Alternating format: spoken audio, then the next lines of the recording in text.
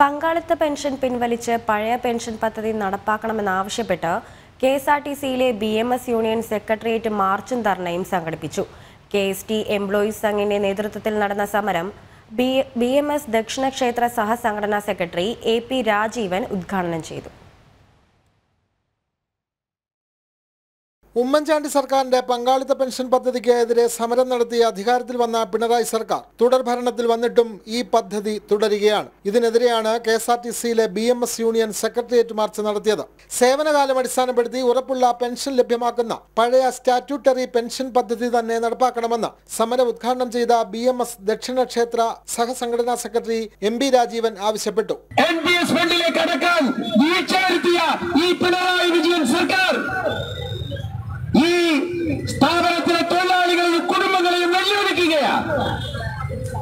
അതിന്റെ ഭാഗമായി നമുക്കറിയാം പെൻഷൻ പറ്റുന്ന ജീവനക്കാർക്ക് അവർ വഴിയാധാരമാകുന്ന ഒരു സ്ഥിതിവിശേഷത്തിലേക്കാണ് എത്താൻ പോകുന്നത്.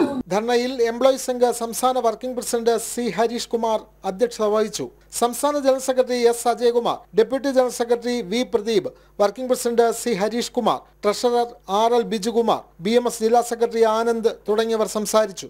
ജനം തിരുവനന്തപുരം.